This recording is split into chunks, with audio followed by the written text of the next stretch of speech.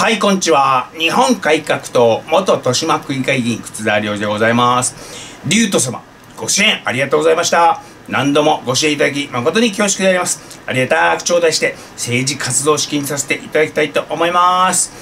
えー、おとといですね、えー、広島の追悼式典を妨害にですね、えー、国葬あがめろの人ら、えー、がですね、えー、行ってですね、えー、韓国の労働組合員の直帰来たやつも参加しとった。というお話しましたけれども、えー、左翼がなんでカタカナを使うのか、えー、福市とか広島であるとか安倍であるとかをカタカナで書くのか。あということなんですけれども、えー、これはですね漢字は難しくひらがなで書くと書き慣れていないのがバレる。まあ、バランスもひらがなは難しい。えー、カタカナはですね、ガギン、ガギン、ガギンっていうあの、えー、ひらがなに比べれば直線が多いじゃないですか。えー、でね、あの、棒と四角と丸の組み合わせの記号文字、えー、おでん文字と似てる。えー、あとあの、書き慣れてなくても、ひらがなよりはバレにくい。っていうことで、まあ、早い話が、カタカナしかないよね。えー、カタカナしか書けないよな。カタカナ以外は難しいよな。という理由でですね、安倍とか、広島とか、最近では長崎とかもね、えー、で、こういう人らが、どんどんどんどん、あれなんですよね、あの、ひらがな使うようにする。子供のどもをひらがなにしたりですね、えー、友達のダチをひらがなにしたりですね。これは書けない読めない漢字がない国の影響ですね。まあ左翼にあの入り込んでいるということなんだと私は思っております。えー、たった今統一教会の会長が記者会見してるらしいんですけど田中っちゅうんだって、えー、どうせ自己正当化の嘘弾幕だろうから、えー、あとあの被害者面するのがまああのデフォルト仕様ですから、えー、あとはあの宗教やってるやつとは話になんねええー、こいつはあの宗教の会長だということで何言ってるか分かんねえだろうからまああのあれですね、えー、見ないし聞かないし調べないっていうのが正解だと思います。まあ無視、えー、下手にねあのふんふんってあの聞いたり見たりするとこっちが混乱するからね。自衛隊機にレーダー照射した事件の時に韓国政府が次から次へと嘘発表して何が何だかわからなくしたっていう、え、のが嘘弾幕というあのー、あいつらがよくやる手口であります。出ないんで聞かない見ない調べない関わらないが正解だと思います。えー、マスゴミ総出でもかばいきれずに野党に転落した民主党なんですけれどもえー、安倍総理、美しい国、日本。麻生総理、とてつもない日本。えー、鳩山幸夫総理、国というものがなんだかよくわからない。と、えー、三者が現職の総理だった時に残した言葉でありますけれども、えー、バカが権力を持つと地獄が始まるって見本ですね。えー、終わってないですからね、この地獄がね。野田政権が消費税5%から10%に倍増をめた倍増を決めた犯人ですから。え地獄が終わっておらん。時間の経過でこういうの知らない若者も増えてきますから我々おっさんたちが大人たちがこういうのしつこくしつこく伝えないとなーって思っております。参院選参院選後の内閣改造。第2次岸田内閣ってなるんでしょうか？の顔ぶれがあの発表になっておりました。高市さんが経済安全保障担当大臣で入閣と、えー、埴林外務大臣は留任と、えー、岸田派、えー、総務外務法務に、えー、寺田埴林これなんて読むんだろう？話さん？洋梨さん？陽里さん？ハリーさん？わかんない。えー、なんて読むんですかね。安倍派が官房長官松野さん留任。経産環境地方創生にそれぞれ西村西村岡田さん。えー、麻生派、えー、鈴木財務大臣留任。えー、文科に長岡さんって人およくわかんない。デジタル担当大臣に河野太郎。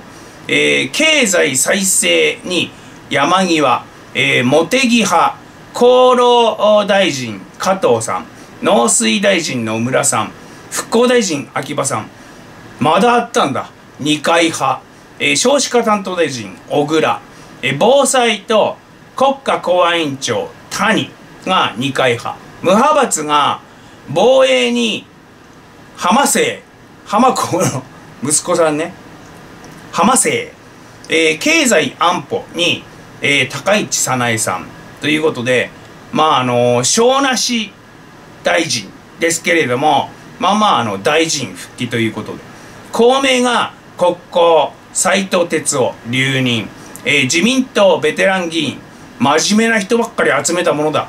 スキャンダルが出そうな人も見当たらない。勉強ができる優等生内閣という感じだ。だそうで。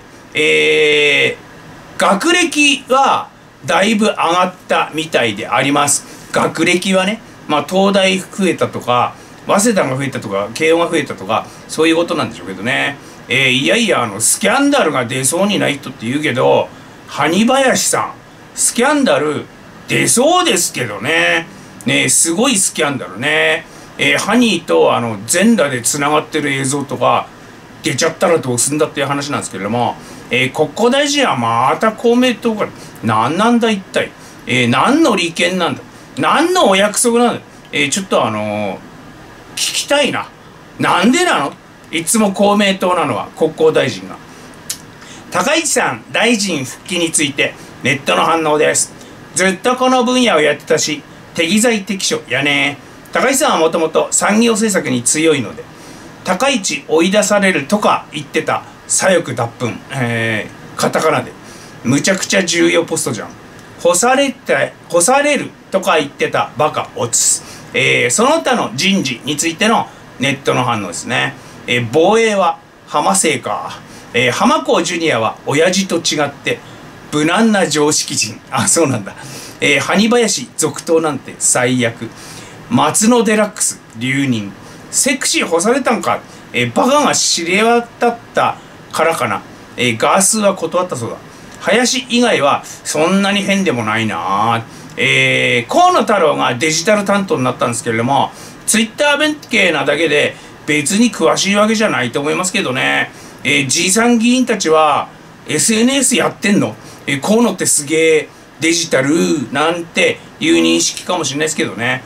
そういえば、あの、USB って何ですか？って聞いちゃったデジタル大臣いう人もあの過去にデジタル大臣でいたんでまあデジタルに詳しくなくてもね、えー、務まるみたいですねデジタル大臣は。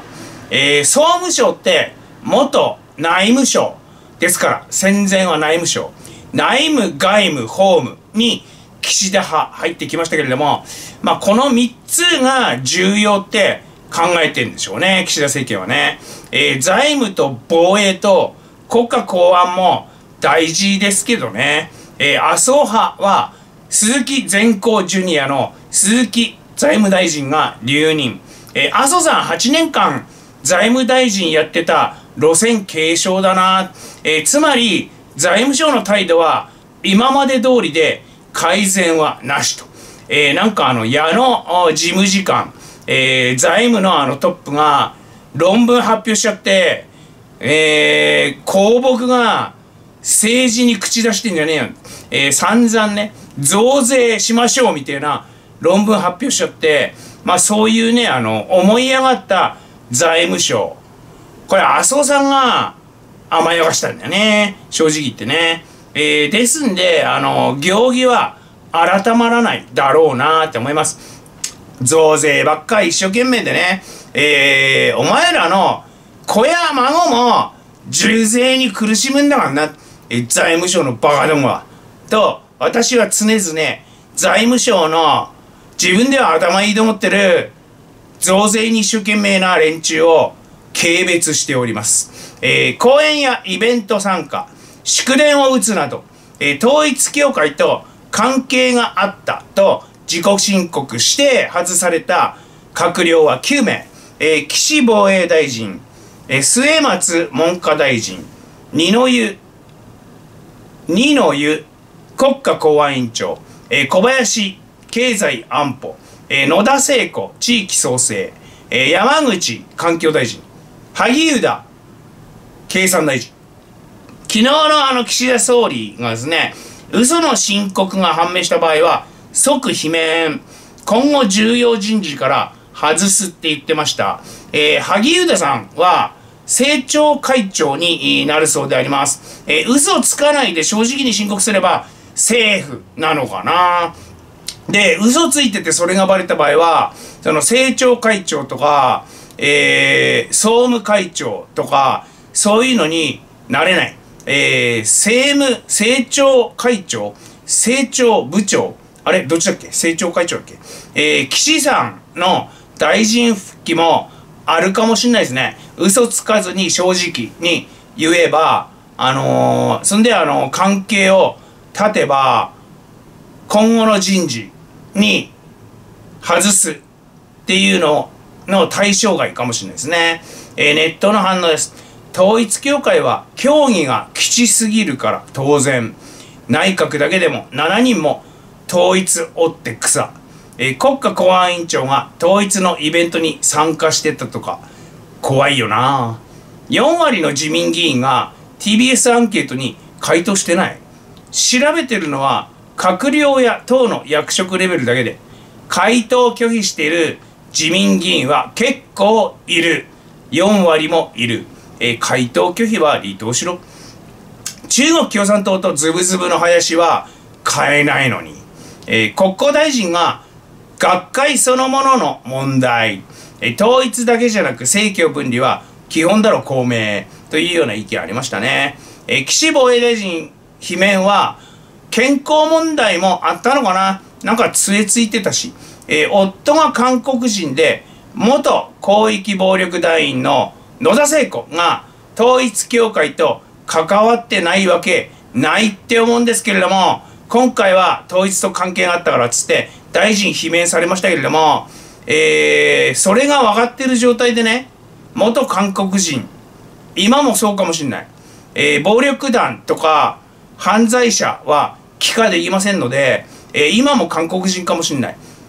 がね、えー、しかも広域暴力団員元。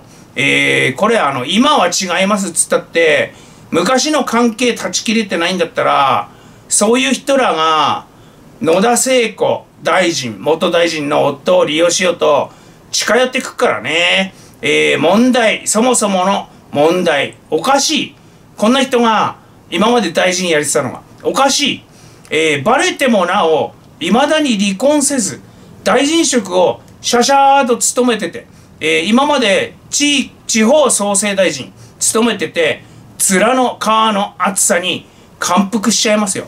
えー、こういうのってあの男より女性の方がしれっとしてずぶとい傾向ないっすか、えー、蓮舫のあの多重国籍やら辻元の生コンやらね。最近ではあの松下玲子武蔵野市長とかね、えー、これ私の推測なんですけど女性ってあの男性に比べて知ってる人からの球団は答えるんだが、顔も名前も知らない不特定多数、ネットのツイッターなんかで叩かれても全然平気っていう傾向ありませんかね？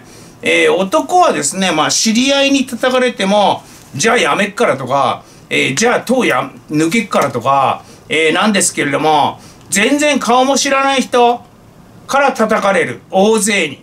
叩かれるとちょっと弱いへこたれちゃう傾向ありませんかね、えー、近しい周囲が認めてくれたらね、女性は善悪やことの是非、えー、世間の評判なんか気にしないっつうかね、えー、そういう傾向があるような気がするんですよ、私は。えー、異論はあ認めます。蓮舫も辻元も、シャシャーとして議員続けてられるのは、周囲が、えー、叩かないからでしょうね。まあ、あの、事務所の人間とか、講演会の人間とかさ、えー、世間は分かってないんだから、頑張ってぐらい。えー、言うとですね、えー、女性は全然平気。世間からいくら嫌われようが。っていう傾向ないかな。えー、男よりって思います。今回のあの人事発表前にですね、えー、急病や襲撃、暗殺なんかで、総理が職務できなくなった場合にですね、権限を受け継ぐのは松野官房長官。次が野田聖子少子化じゃなかった。地方創生だった。えー、これ知った時には絶望しちゃいましたけれども、ウィキペディアに載っておりました。えー、大臣から外されて、これも変わるんでしょうね。めでたしめでたし。なんで野田聖子にしてんだよ、ナンバー3をよって。えー、ナンバー2が松野官房長官えー、安倍派でしたっけ？えー、なはいい、いいけどさ、えー、内閣改造ニュースの陰に隠れて、ひっそりと、えー、統一教会の記者会見に隠れて、ひっそりと、えー、まああの、マスコミがわざと隠蔽してるとも言えなくもないですけれども、8月8日、おとといですね、最高裁判決。